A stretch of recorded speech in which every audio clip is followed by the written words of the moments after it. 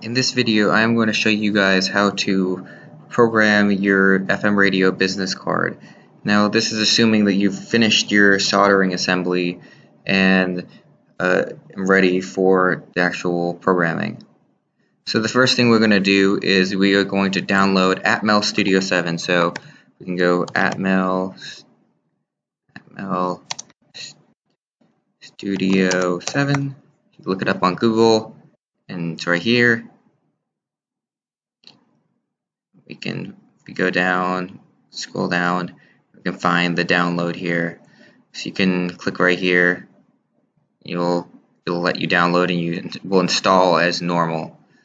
So I assume that you know how to install. So after that, what you'll do is you'll go to the project page here, which on the assembly instructions there'll be a QR code you can use, or you can look it up on the AmpLab main website. It should be also in the instructions a direct link to. So you're going to want to do is you're going to want to scroll down to the bottom of the page, and right here there is a file that says FM radio Atmel Studio 7.zip. You'll click that download button right here, and you'll get a zip file. So once you've done that, you're going to want to do is go to your Documents folder, and you'll find a folder called Atmel Studio. You'll open it up, click 7, and then what you'll do is you'll have that zip file, and once you open it up, you can see how it's like this. You'll drag that and drop it into this into this folder here, which I've already done. You can see here's the project, and here's your thing and all that. So this is the project file go over here and go over, there's the Arduino resources. Go here into debug. Then what I have here is all the compiled files. So once you've done that, what you'll want to do is get your get the Olimex programmer and you'll want to plug it in like this. Can't see it right now, but basically what you'll want to do is is once you plug it in, you're probably going to have to upgrade the drivers. So what you want to do is, right here is a link to the driver download. You'll download a zip file. It'll look something like this. Find it. Look like that. And what you want to do is extract that to your desktop. And we're going to want to um, point your driver to this this file right here. So what you want to do is you'll go to, open this up, go to Device Manager, and you'll see this show up as a Atmel USB device. You'll right click on it, click Update Driver, then click Browse My Computer for driver software, browse, and then what you'll do is you'll browse to that folder that I just showed you. So it'll be this folder here once you've extracted it specifically and it's going to lead to that. Once you've done that, click include subfolders, you'll click next and it'll install it. Once you've done that, you should have all your drivers ready and we're ready to actually start actual programming.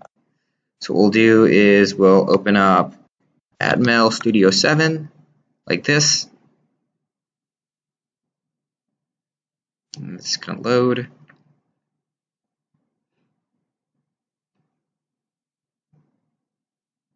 It's going to take it a moment. Go to Open Project.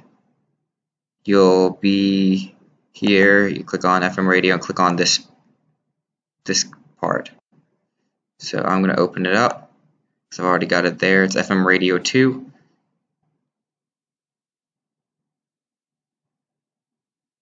So this is what it should look like when you open it up. What you want to first make sure is make sure it's set to ATmega 168 PB. That's the chip that's on our FM radio. If not, you can click on this and you can change it. Click change device and set it and make sure it matches this.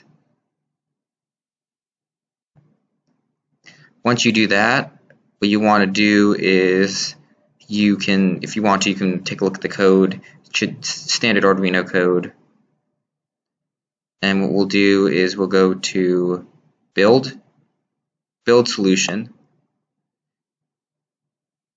and it'll go through and it should say that it succeeded. If not, then something messed up and you'll have to make sure that all the files, which everything should be as it is, assuming you didn't mess with anything. So once you do that, you'll do is you'll go to Tools, Device Programming, and this tool, which you'll want to make sure it's the AVR ISP Mark II, and it matches this device.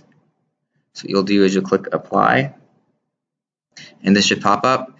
And if it, and then what you want to do is take the ribbon cable that's all that's been modified and connect it up such that the ribbon is pointing towards the left. So when you do that, it should look like this picture that I'll pull up.